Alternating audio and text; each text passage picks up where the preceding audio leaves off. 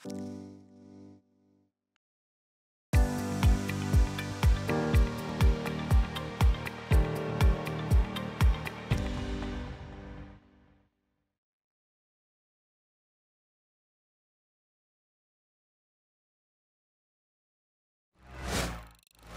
everyone. I'm glad to welcome you all, uh, all our audience, uh, to this session of the spring part of Mobius.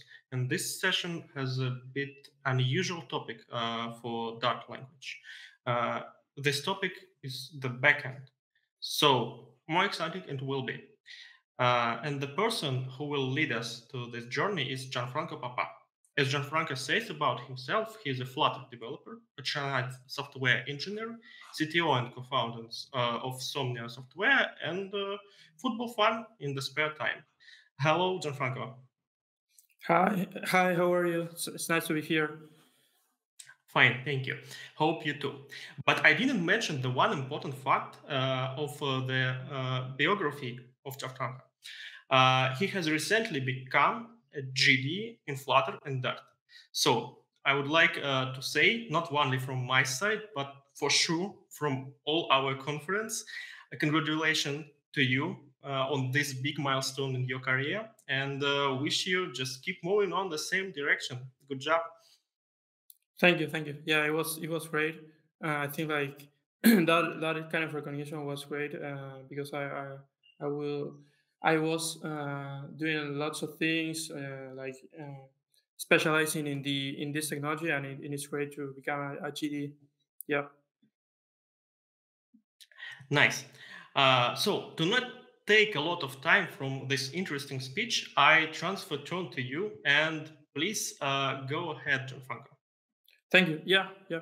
Okay, so yeah, uh, today I'm going to talk about going full stack with Dart. Uh, yeah, um, basically, um, like the fact that we can use Flutter and Dart to build uh, a front end on the back end, uh, because usually, like for me at least, it's more common to see that people use Dart only for for using Flutter. Uh, but it, it is a, a, really good opportunity to also talk about Dart as a full stack uh, language. Okay. So yeah, I'm going to introduce myself again. Uh, sorry, I had this on the presentation, but yeah, I'm CTO and co-founder of Somnio Software. We are a, a dev agency specializing in, in Flutter development. And, and yeah, we are uh, 100% specialized in, in Flutter in Latin America. Uh, I live in Uruguay. Um, it's a country near Argentina and Brazil, in case you don't know it. And, and yeah, I'm a Flutter and Dart GDE. Uh, so I'm also a software engineer. I, have been speaking a lot on, in Flutter about Flutter uh, in meetups and communities. Uh, that's why I also organizer of the Flutter Montevideo meetup, where, where I live in, Montevideo. It's the capital of Uruguay. That that was a little bit more about me. Uh, but yeah, let's let's go to the agenda of today. So so yeah, basically what we are talking about today is uh, what is the motivation to becoming a full stack uh, engineer in using Dart, or why should we care about full stack apps using only Dart? Then, what would be the challenges once we we know and we want to use Dart as a full stack language? Uh, what is the current state of the art uh, today? So we can yeah compare also what are the frameworks that are available and hopefully like you will see how you can start with uh, with Dart, in, especially in the backend, right? Uh, we're going to have a brief demo of some of the tools we are presenting today, so you can also see everything in action. And lastly, we will see some conclusions, some next steps, so you can have like, yeah, we can conclude uh, about what we talk, and then we, you can know how to move forward uh, after this presentation. Okay, uh, and yeah, also at, at, the at the last part of the presentation, we can answer some questions. So if you have any, uh, we can cover those uh, at the at the end of the of the of the talk. Okay, so let's start with the motivation, right? Because uh, maybe you are someone who is a Flutter developer. Um, even though we, I, am not talking only to Flutter developers, um, uh, by doing this talk. Uh, I think that the the majority could be Flutter developers. So one of the motivations will be that when we are creating full stack apps, when we are using Flutter, we have to have a backend, right? Because it's something um, really common in any application that we have to connect the application to the cloud. And one of the things that uh, might be a problem is that we have to use another language. Uh, for example, TypeScript. It's really common that uh, we use Flutter in the front end, and in the backend we have to choose, for example, JavaScript because we are using Node.js, or maybe we are using Firebase and we have to write some cloud functions in order to do some more customized stuff. And and yeah, uh, switching between different language, this context switching can be hard because we are uh, yeah, on one hand using Dart in the front end, and then we have to switch and use another language, even though those languages are uh, almost the syntax is very similar, right? But uh, ultimately they are different languages, right? So the context switching uh, could be something that we can improve. So we don't have we, we have a single language both in the front end and the back end. Uh, this would be like one of the motivations to to try to think about full stack app start in Dart but also trying to re- reuse the code across the front end and the back end. One of the also other problem that we experience as uh, front end developers is that as the backend is written in another language, we have to um, reinvent all of the models and rewrite all of the models uh, or other parts of the system because actually we don't we don't have the same language, right? So. Uh, in essence, if we are using only Dart, we will be able to reuse lots of the code that is in the backend because it's the same language and we won't have to reuse sorry we don't have to rewrite again uh, code and this is great. Uh, this is something that we are going to see in the, in the demo later but but yeah this is a, a, really great point to start thinking about this.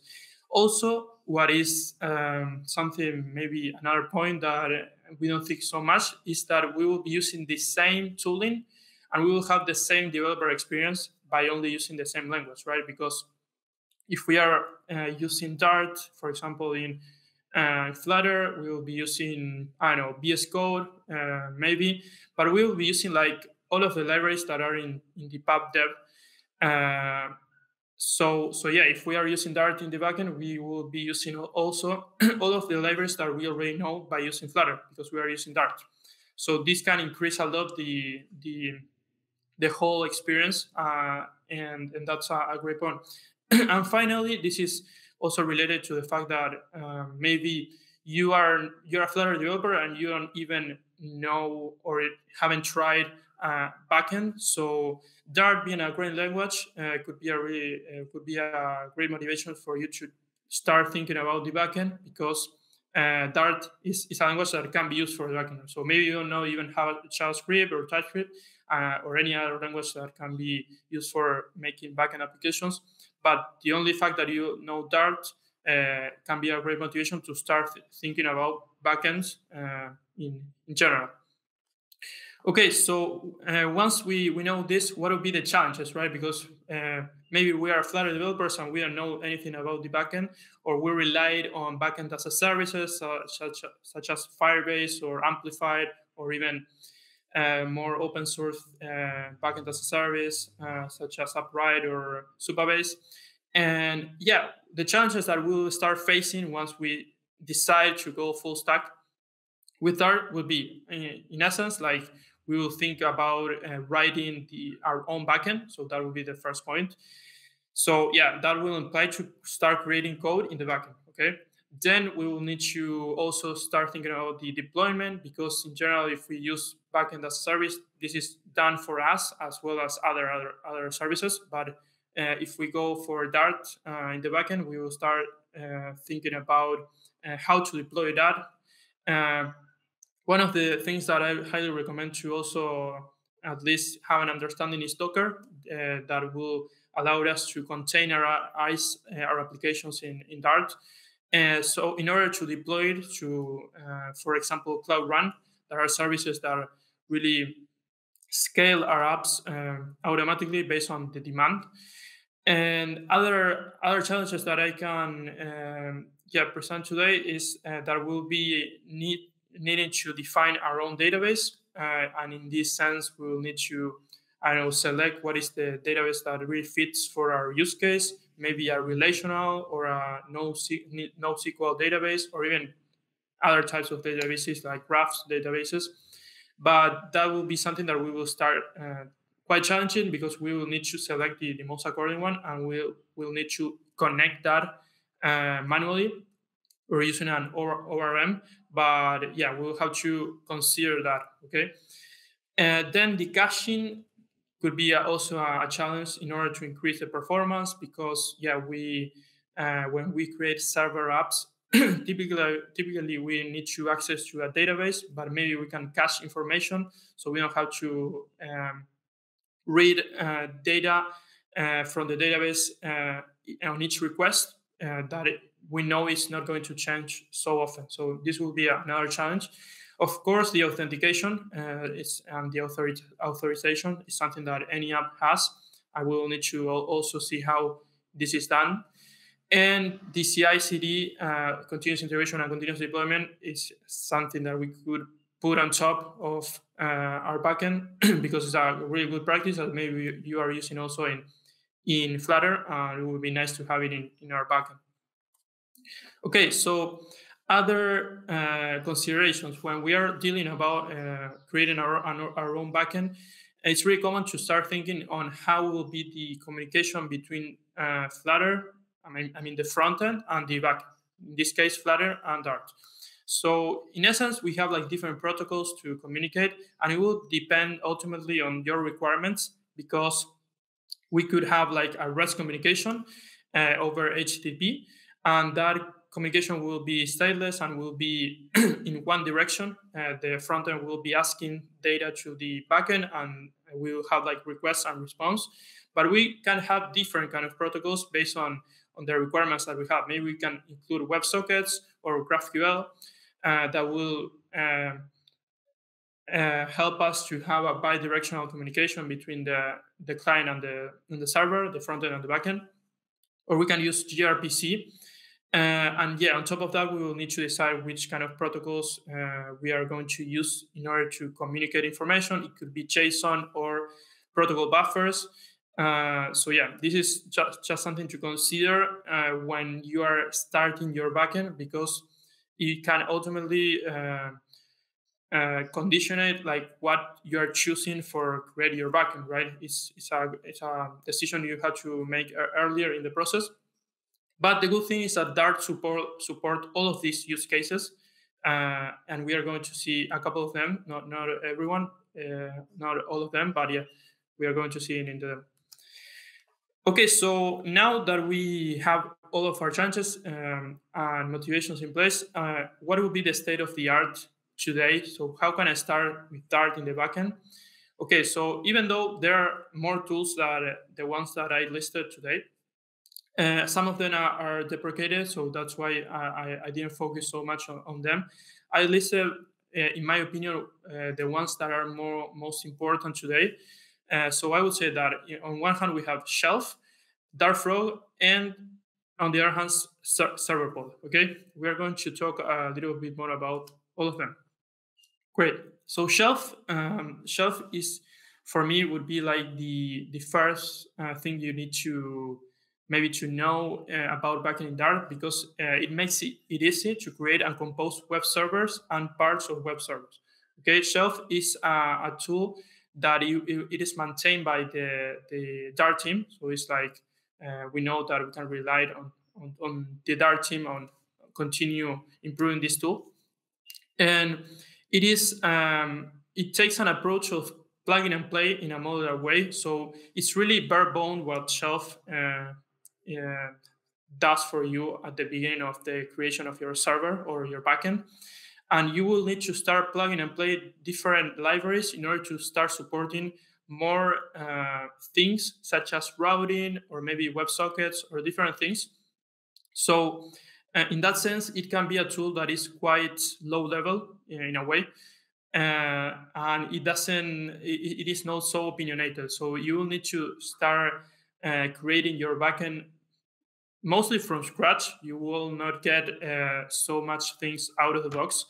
but in a way, if you're someone that can have um, the uh, you, you want to design your backend uh, like the way you like, and you want to understand everything that is happening uh, under the hood, um, and you don't want to get so many things. You you want something lightweight.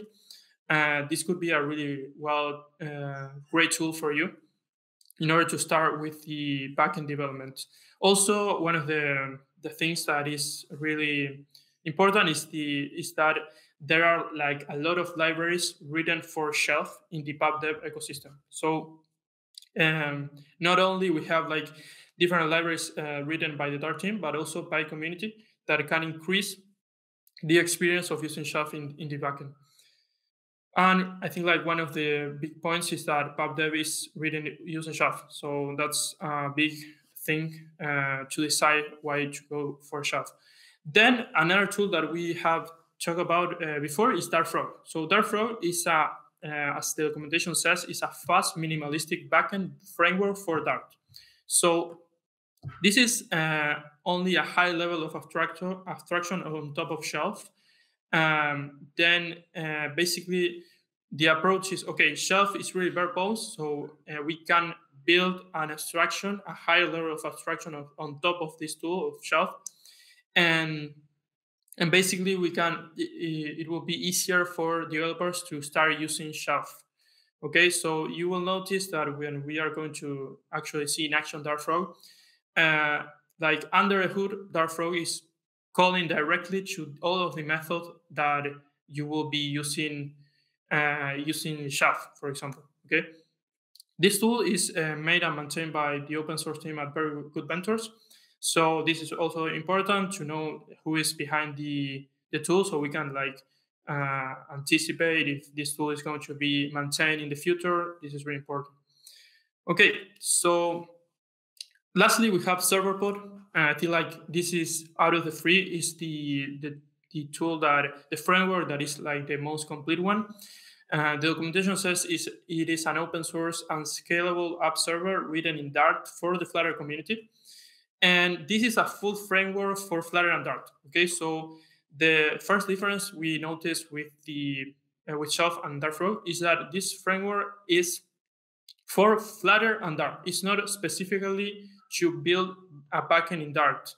Uh, it can be used to only uh, create a backend in Dart, but the the idea is that you can use this as a whole thing, so you can start creating full stack app with Flutter and Dart. Okay, whereas using Dartfrog or Shelf doesn't uh, really tell you to use Flutter in the front end, although it would be highly recommended, right? But you can use it for other types of front end as well.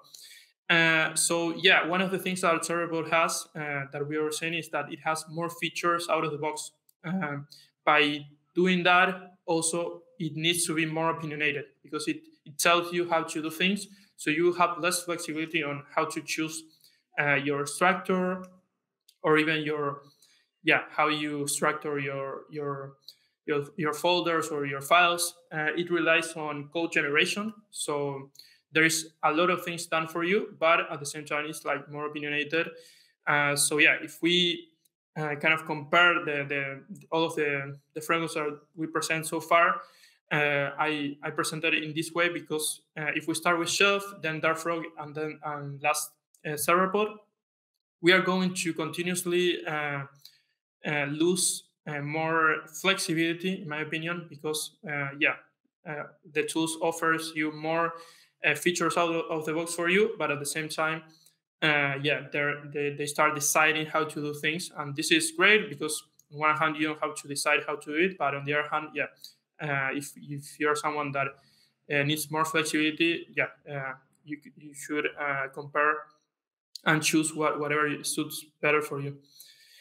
Okay, so here we have, um, yeah, uh, sorry, I, I have. Um, the next steps will be later. But yeah, we have uh, more information on our server because yeah, maybe you will be thinking about okay, but what are the types of um, features that Serverpod uh, really puts out of the box for me? And if we compare to Serverpod to Dartfrog or Shelf, Serverpod will uh, have files uploads out of the box, so you don't have to care about that. You only need to configure where do you want to save it. Then the authentication in, and data streaming are done for you. Also, it has a strategy to task scheduling, uh, health checks, and easy deployment. So uh, there are a lot of things, a lot of things that you even don't know maybe when you're starting a backend. That I think it's great that Serverpod has uh, them because yeah, maybe you're uh, you're not even aware of these problems, right? And those are really good practices that you need to uh, take in place. So yeah, Serverpod. Just to say uh, some last words about the the framework um, because in general it's the most difficult to explain because it has a lot of things uh, compared to the R2 that I presented. so it recently has reached the version one and it's really stable. Uh, actually, it, it, reached the version 1.1 where they make a lot of changes. In particular, uh, one of the things that was really tricky about Server is that it, it was opinionated. So uh, it was more um, one of the yeah uh, things that you need to do to deploy your application. Uh, maybe it was more oriented to AWS deployments and also to some kind of database such as Postgres, or SQL database. And in the recent, in the most recent uh, release, they share with, with us that it, it will be easier to uh, deploy your apps, maybe using Cloud Run or another service. So yeah, that's great because in some way they are thinking also about this flexibility of, and not constrain the, the developer to only use the, uh, like a selected kind of of tools such as AWS or or maybe Postgres. So yeah, they are increasing their flexibility there, and that's great. Okay, so I think now that we are more in context, uh, we are uh, able to present a demo. We will be presenting what would be a full stack app with Flutter and Shelf slash Dartfrog because it's easier to present uh, these kind of tools. Uh, so yeah, I'm going to start sharing uh, VS Code. So perfect. We are going to, I'm going to zoom in a little bit. Okay, so once you start uh, creating a full stack app, this will be one of the possible structure that you could have in in your yeah in your repository. Maybe you have a mono repo, uh, and you have inside uh, the repository two folders: the client and the server. In here we have a client app, then we have a server that is using Dartfrog, and uh, we also have the the other variation of the server that will be using shelf. So we can see like what are the, the difference between using one or the other. Okay. So we will start presenting uh, like what is shelf, uh, how, how we can uh, picture basically a, a, shelf server. And basically when we create a shelf uh, project, uh, it is uh, really easy because it's integrated in Dart itself. So it's, it's a, a template that Dart used to create a project uh, maybe you you didn't create a, a project using a project using Dart, but basically, whenever you use Dart create, uh, you have the possibility to pass a template. And here, if you select shelf server, it will create mostly like a package, a Dart package, but with some uh, boilerplate code to start creating your own shelf server. Okay.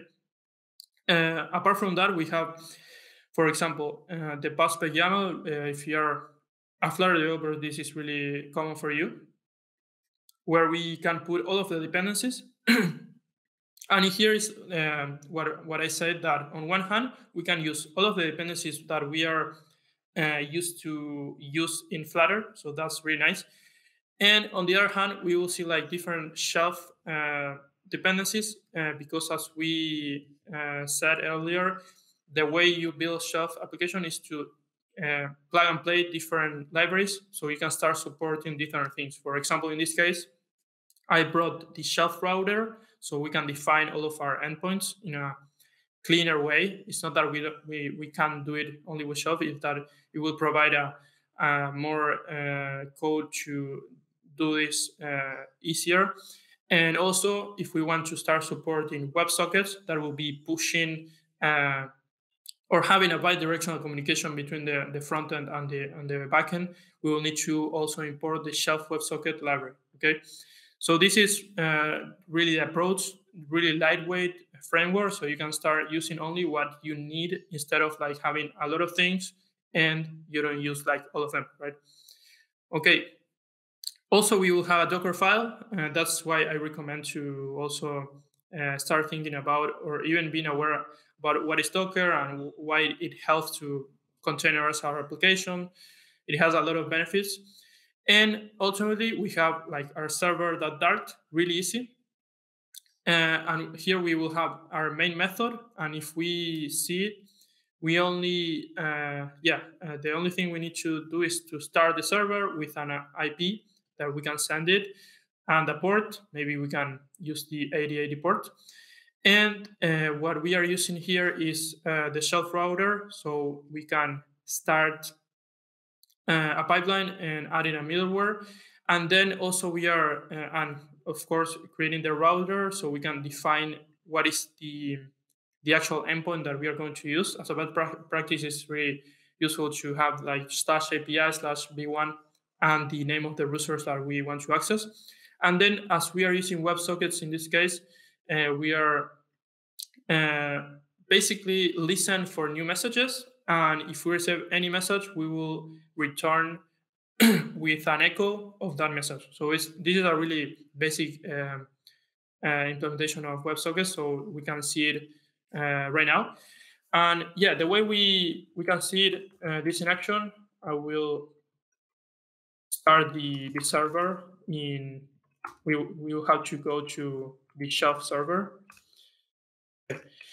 So here uh, we only need to run our app. So we need to access to the bin folder and the server data. So here we will notice that the server is already running and listening on port 8080 by default. And if we now go to Postman uh, and we would like to uh, basically use this uh, this method, we will need to put the the base URL plus the the API V1 users in here. And if you didn't know, like Postman also um, uh, kind of like allow you to test your WebSockets endpoint. That's really nice because we can connect here. Uh, we will be connected. And then whenever we pass a message, let's pass our name, uh, we can send a message and the server will respond with an echo. So really easy. But here we have like, a, yeah, a server that is responding us with uh, a WebSocket communication, okay? So if we go back to our, our example again, uh, what we can do now is start talking about this server written in Dartfrog. Okay, so basically we're going to close this and this. Uh, whenever we create a project using Dartfrog, we will first need to install the CLI, the CLI tool so we can start using uh, Dartfrog. Uh, this doesn't come with Dart itself.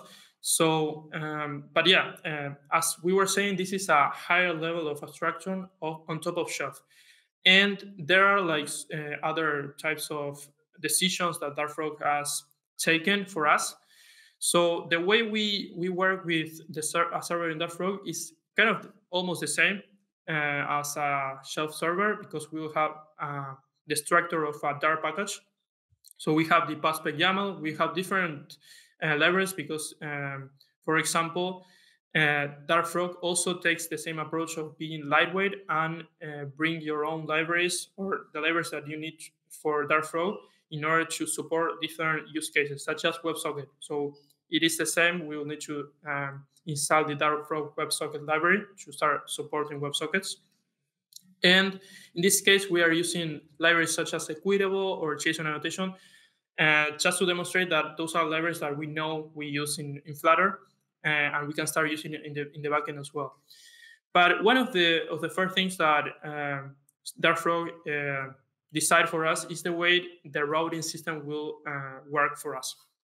So basically, if we want to define a route in Dartfrog, we'll need to define also uh, a structure of folders that will resemble the actual endpoint. So if we go back to uh, our server in Shelf, we will see that we have API V1 users.ws. And if we go back to um, Dartfrog, we will need to define this in a structure of folders. So we so the, the then when Dartfrog uh, compiles the whole thing, it will look on the folders and will see okay clearly what the developer is, is asking me to do is okay to define a, an endpoint that starts with API, V1, and then users. Uh, so yeah, if we go to the index file here, we will be able to see uh, actually uh, like some uh, REST endpoints uh, that will be using HTTP. Okay, so in the index file, we will uh, yeah start defining what is the HTTP method that is coming. So we will uh, have to implement the on request method. And based on the HTTP method that we need to use, in this case, only a get method, because we are kind of uh, basically uh, responding with a, a, list of users. Imagine we have here the endpoint of, of getting a user list. Uh, so we check if we are receiving the get method and then if that's the case, we handle that uh, request by accessing a user's data source and getting all of the users and returning in a JSON uh, way all of, uh, all of the users that we have, for example, in a data source. Uh, and this data source could be a database, a cache, or even uh, something hard coded. Why not, right? So this is how you start defining your own route, routes in, in Dartfrog. Uh, again, you will need to create your index files, uh, define which met- which HTTP method uh, are you uh, you are receiving, and then based on that, maybe if it is a get, you will need to do something, or it is a post or a delete or a put, you will need to do something else. In the case uh, you want to receive an extra parameter because you are, maybe you are building an endpoint that is uh, getting a user by ID, you will need to have this special notation uh, between brackets, you will need to have like the the thing that you want to have dynamic, and and yeah, the method will be the same. Just uh, we will be adding a, an ID, so we can use the get method, but we have that ID, and we can start retrieving a user by the ID. So yeah, basically, uh, this is how you can start building your own REST APIs. And again, the routes structure folder will map into your endpoints and yeah this is uh, an approach that is like more opinionated uh, but it's really easier for you in order to not not uh, um, have that uh, so difficult setup where you need to define like uh, in a in a way like all of the urls that you will be using all of the routing so this is can be like quite easier and if we would like to use the WebSockets, there is a different kind of on request method for this. In here, what we need to define is like uh, the WebSocket uh, file uh, again. So we can have the slash user slash WBS. And what we can do is, in this case, uh, okay, so we'll need the WebSocket handler. And then when a new client has connected to our server, maybe what we can do is to subscribe that user to new messages that are happening in the backend. Then we can send the current users list to that client because maybe he, at that moment uh, uh, the client also wants to know what is the user list. And then on each uh, message, we will start uh, listening. And based on the event that is coming to the server, we will act accordingly.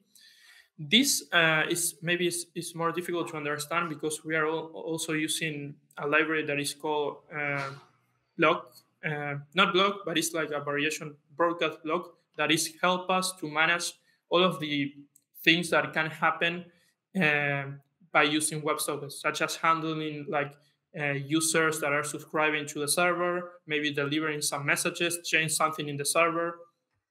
Um, so yeah, um, this is one of the cool things that we can do that we can reuse the things that uh, we are um, yeah used to uh, have in the front end such as for example Bloc or the way Bloc it works by dispatching events and producing new states uh, and then ultimately when the user is done we can unsubscribe the user to to the channel because we he uh, will not uh, it, there is no need to uh, continue uh, sending messages to that client because it's not connected anymore. Okay. So yeah, this is another way so that we can use, for example, WebSockets uh, using Dartfrog. And other concept that we have in Dartfrog that we didn't cover is the concept of a middleware. Uh, this will be basically how we can put something in the middle uh, before an actual request happen or even after that it can, it can happen. So in this case, as we can see, we, we provide a, a user data source to all of our endpoints so, so that our endpoints can access uh, yeah, that data source and they don't care about where that information is coming. In this case, we have an in-memory data source. Uh, so we are using an in-memory user list. So this is only hard-coded for demonstration purposes. But then all of our methods to retrieve users or get user by ID are uh, operating on this list. Okay. Okay. So here another cool point is that we can start defining our user in the in the models of the server. We are using Dart, of course, and we can start reusing these models in the front end. So that's why we we can export everything and start using in our client app um, by only exporting the user's API, we will have access to all of the models of a user and we don't have to define that information again and parse it and because everything is already defined in the server in here. Okay, so this hopefully like um, um, uh, by by seeing this example, we can hopefully like understand how is the process of creating a full stack app in Dart with Dartfrog or with uh, Shelf. Uh, also here we have the client app that is basically uh, using Flutter. I'm not going to stop so much in this in this app, but basically what we are using is we are exporting the user's API that will be the, the backend server. And then we have a user repository that mainly uses this user API to stream our users in, a, in, our, in our app. So we'll be uh, streaming a list of user of users and present it into a screen. If we go to our lib folder, we only have one single feature that will be our users uh, feature, and we are mainly displaying everything in a list view. So if we run the app, so we can see this in action, maybe it's more clear if I if I do that. Maybe we can do uh, we we can go to the uh, server app. In this case, I mean the Dartfrog backend. And for running the Dartfrog backend, what we should do is using the Dartfrog uh, CLI and with the command dev we are going to start the backend using Dartfrog. So one, one of the things that we have out of the box is the ability to hot reload the server. This is really great if you start making changes in your server and, and saving it. Uh, you don't have to restart the server. It will be automatically done for you. And if we go and get our users by using an HTTP method, like a, simple REST API, we can do that. And this is the same list that we have in, on the server hard-coded, remember? Uh, we can also get a user by ID, and this will give us uh, only a particular user. And again, we can also connect via WebSockets to our server, the same way we did with Soft.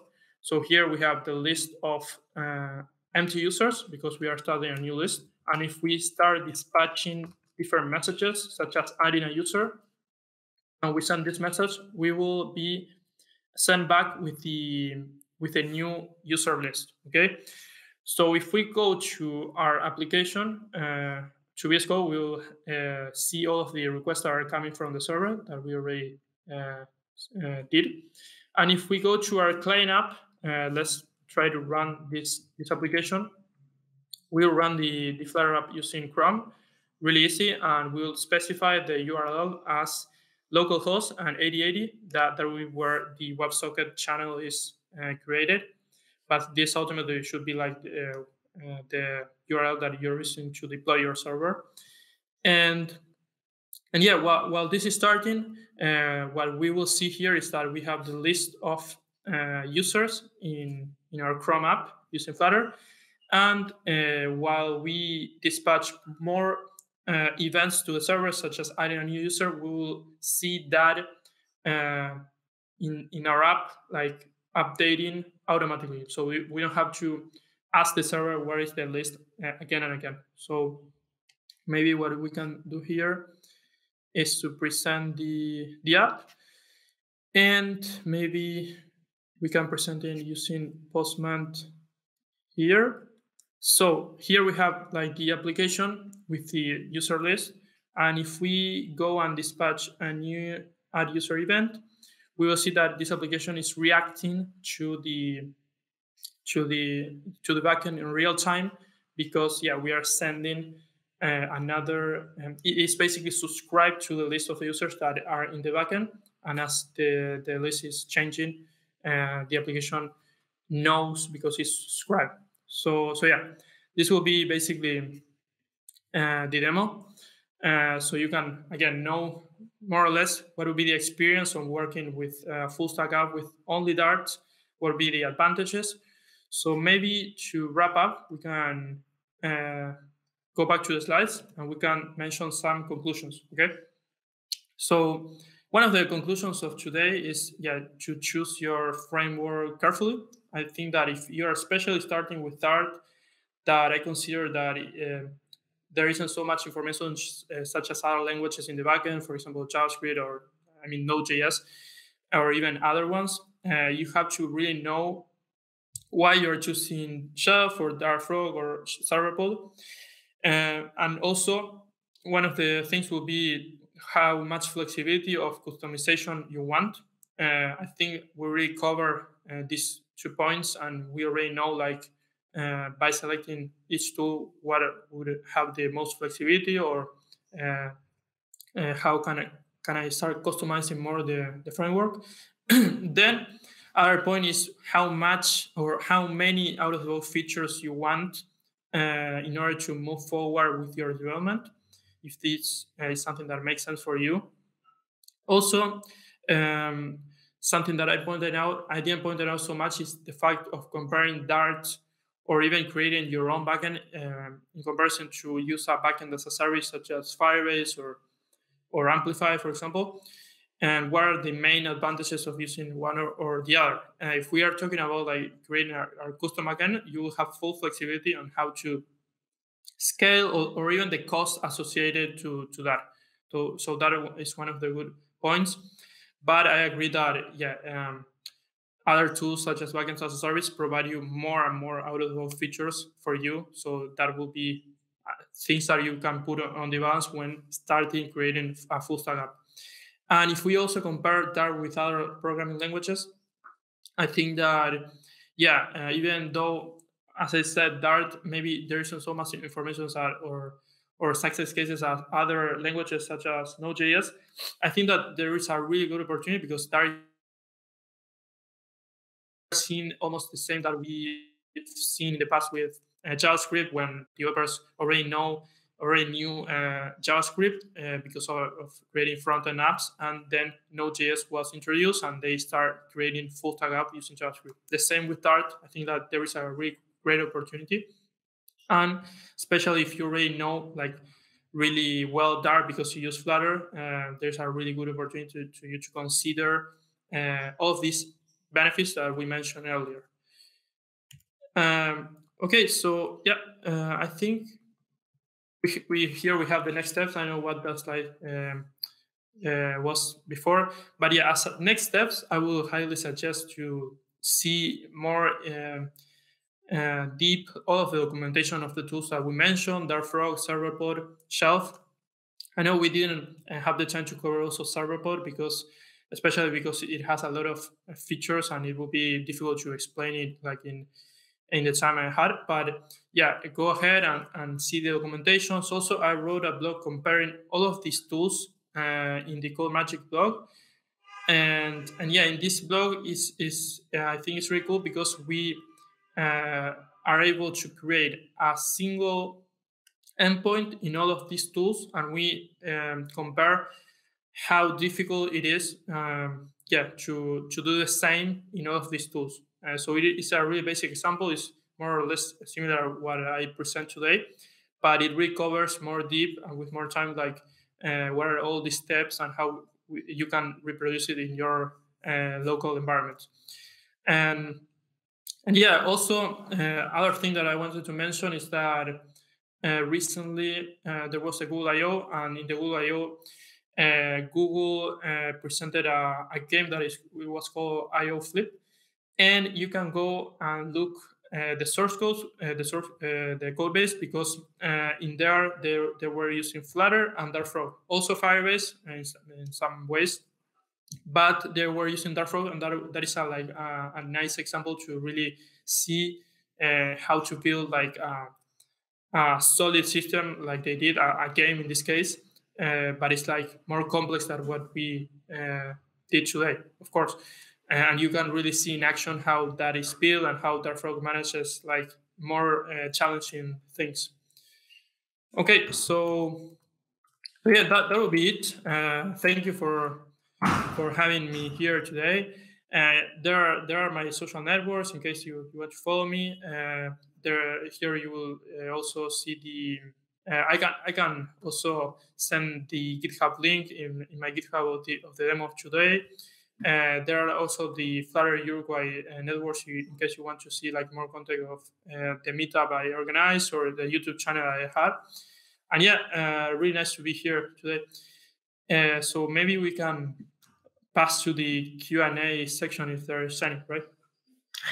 Yes, uh, thank you. Thank you for your speech, Gianfranco. It was uh, really interesting. I'm sure that all our audience uh, was exciting. That's uh, information and it will be useful for all of them in the future or maybe uh, even now. Thank you.